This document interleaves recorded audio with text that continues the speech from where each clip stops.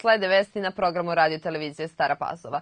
Predsednik Republike Srbije Aleksandar Vučić primio je danas delegaciju MEDEF pokreta francuskih preduzetnika koja boravi u Beogradu da bi se upoznala sa rezultatima preduzetih reformi i mogućnostima za ulaganje u srpsku privredu.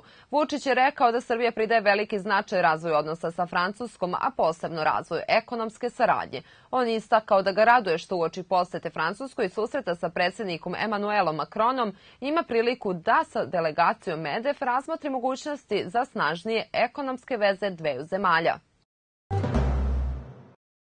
Predsednica Skupštine Srbije Maja Gojković izjavila je danas na javnoj raspravi o nacrtu zakona o rodnoj ravnopravnosti da je ključni cilj tog zakona da stvori jednake šanse za muškarce i žene u društvu.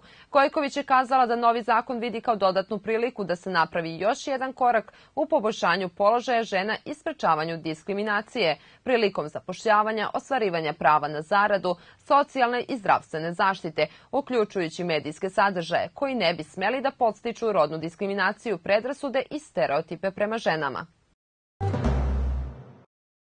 Izdvajanje iz budžeta za zaštitu životne sredine potrebno je godišnje povećati za oko 500 miliona evra, što je iznos od 1,2 do 1,4% bruto domaćeg proizvoda, smatra Fiskalni savet Srbije. Kako rečeno na konferenciji Fiskalnog saveta investicije u zaštitu životne sredine, društveni fiskalni prioritet. Povećanje izdvajanja u zaštitu životne sredine popravilo bi strukturu budžeta, jer bi javne investicije bile veće i pozitivno bi delovalo na privredni rast u kratkom roku.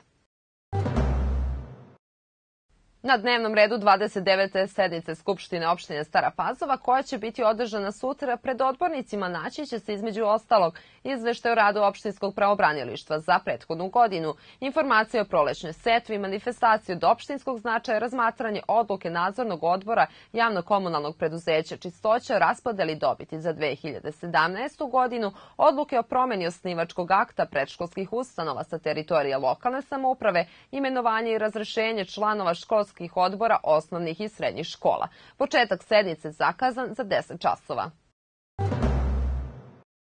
U Vojvodini je pre gotovo dve nedelje počela žetva pšenice, ali ne u velikom obimu, pošto vremenski uslovi diktiraju vršidbu. Kolika će biti cena ovogodišnjeg roda, niko još sa sigurnošću ne može da kaže.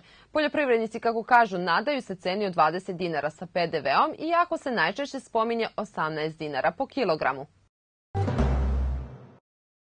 Tretman suzbijanja krpelja sa zemlje na teritoriji opštine Stara Pazova izvršit će se u period 2. jula do 9. jula tekuće godine u svim naseljima Staropazovačke opštine, a bit će obuhvaćeni vrtići, škole, parkovi, igrališta, crkvena dvorišta.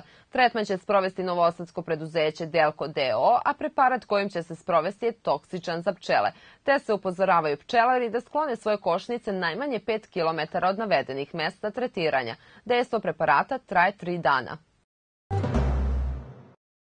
Međunarodni dan borbe protiv zloupotrebe i trgovine drogama obeležava se 26. juna 1987. godine, kada ga je ustanovila Generalna skupština Ujedinjenih nacija. U Staroj Pazovi organizacija Crvenog krsta je obeležila ovaj dan tako što je građanima delila edukativni materijal na trgu doktora Zorana Đinđića u zapel roditeljima i nastavnicima da nastave sa edukacijom dece. Ove godine odobreno lečenje za 26 pacijenata čije oboljenja, stanja ili povrede ne mogu uspešno da se leče u Srbiji, rečeno je danas na konferenciji za medije.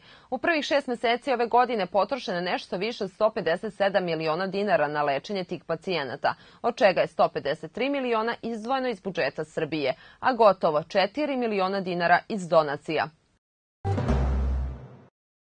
U organizaciji Human Show i Udruženje građana Svi zajedno u sredu biće održana celodnevna humanitarna akcija u cilju prikupljanja sredstava za Stefana Subotića, kome je hitno potrebna pomoć zbog nastavka lečenja. Humanitarni dan će početi u 12 časova na trgu doktora Zorana Đinđića, a raznovrsni sadržaj poput festivala domaće hrane, zabave za decu, razmene dečih igračaka će trajati do 22.30. U Staroj Pazovi je sinoć po prvi put gostovao deči folklorni ansambl iz Trenčina, a na programu je bio prisutan i predstavnik ambasade Slovačke republike u Srbiji. Bio je to zajednički program sa domaćinima iz Slovačkog kulturnog umetničkog društva Janko Čmelik, koji su na ovaj način završili polusezonu. Reprezentacija Srbije će u sredu 20 časova u Moskvi igrati odlučujući meč na svetskom prvenstvu, a protivnik u poslednjem kolu grupne faze ni manje ni više nego Brazil. Trenutna situacija u grupi A je neizvesna i Brazil je prvi sa četiri boda, druga je Švajcarska koja takođe ima četiri, a Srbija tri boda. Kostarika za sada nula bodova.